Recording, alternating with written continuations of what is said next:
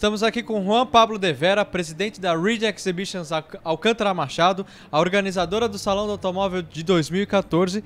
E aqui eu já quero perguntar, o que, que nós podemos esperar para 2016 e 2018 para o salão?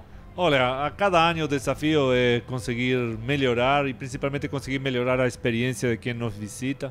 Então, estamos trabalhando fortemente com a ajuda de todas as empresas que fazem parte do salão para que essa experiência eh, do visitante seja cada vez melhor.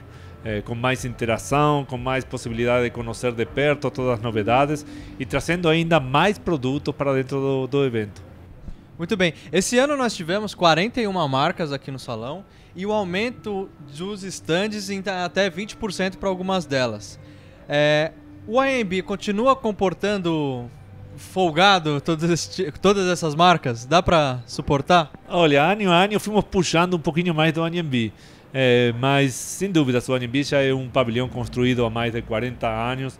É, estamos esperando ansiosos as novidades que, que, estarão sendo trazidas em breve para um novo ANB é, com mais capacidade, com mais estacionamento, com melhores serviços. É, para que todos os que participam, não só do Salão do Automóvel, sino todas essas grandes feiras que acontecem eh, aqui na cidade de São Paulo tenham um maior conforto e um fiquem felizes de poder fazer parte com a vontade de querer voltar a cada ano. Nós temos, eh, vocês estão pensando em algum lugar diferente do Anhembi para as próximas edições? Olha, a posição geográfica do Anhembi é muito favorável. Se está num espaço já conhecido, no entroncamento de grandes avenidas, com a marginal do lado, isso facilita muito aqueles que conhecem São Paulo, conhecem pouco São Paulo e querem chegar até o Anhembi rápido.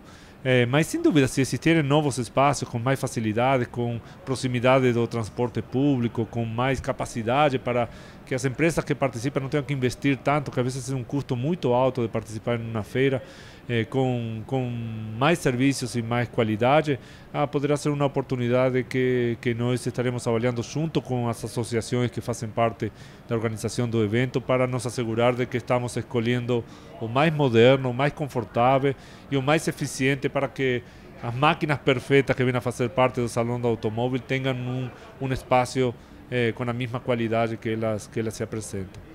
Juan, você acha que existe a possibilidade de ter alguma coisa lá perto da Imigrantes? Um, não no espaço Imigrantes, mas algo novo, uma, um empreendimento novo ali na Imigrantes, apesar de não ter muito transporte público ali perto? Olha, o, o Centro Imigrantes foi recentemente privatizado eh, pelo governo do estado, uma concessão.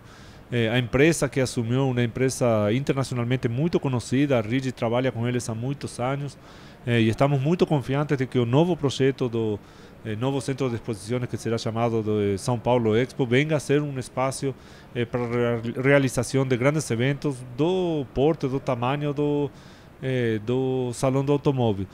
Tomara que, esse, que essa iniciativa também traça novos espaços como a Anhembi, a, a iniciativa de ser modernizado e atualizado, eh, para não perder o que o Anhembi construiu, verdade? Os visitantes internacionais ou visitantes de outros estados que vêm a São Paulo já conhecem onde fica o Unimbi, já conhecem onde fica o Centro Imigrantes.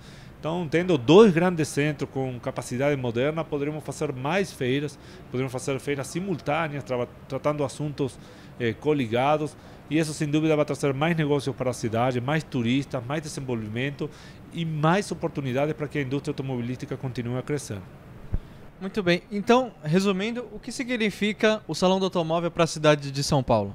Olha, um evento como o Salão do Automóvel, que hoje é reconhecido como o maior evento privado organizado na cidade de São Paulo, um dos cinco maiores eventos eh, da indústria automobilística a nível mundial, eh, sem dúvida representa muito. Representa não só pela característica de ter a possibilidade de sediar um evento com essa repercussão na mídia a nível mundial, sino também por lo que significa de impulso à nossa indústria. Muitas das empresas que fazem parte dessa indústria automobilística estão em São Paulo, participam ativamente da economia da cidade, seja direta ou indiretamente, e particularmente têm um interesse em promover São Paulo como a grande capital de negócios da América Latina. Além disso, o impacto que o turismo gera, assim, são mais de 280 milhões de reais que nós esperamos receber este ano de turistas que chegam na cidade consumindo em restaurantes, hotéis, eh, shopping center, eh, em passeios que fazem pela cidade. E isso é um legado que São Paulo, como cidade, não pode perder. Tem muitas cidades que querem ter um salão de automóvel como esse.